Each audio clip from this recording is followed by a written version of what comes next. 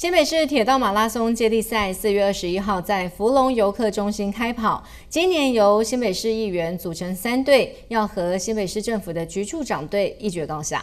天拼在一起，Go Go Go！冲冲冲冲是最好的身体，冲是最好的新北市一位，坚持到底。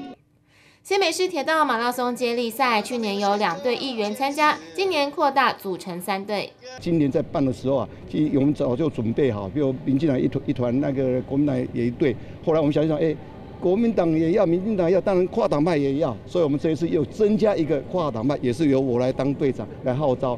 七个接力棒，棒棒有亮点，议员不分蓝绿，踊跃参与。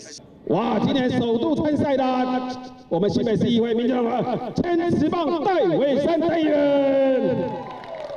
对，这是我第一次参加，第一次跟我们民进党的队友一起组队，很开心。参加过路跑？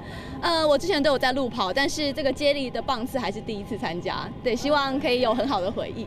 有每天差不多练了六公里，每天跑六公里。对，一定要的，因为去年跑四公里，今年跑第一棒五点四，所以一定要加紧脚步。今年的铁道马共有约五百位变装选手参加，也有不少企业老板主动替员工报名，希望跑跑跑跑出健康，跑出活力与希望。记者方建凯新北市采访报道。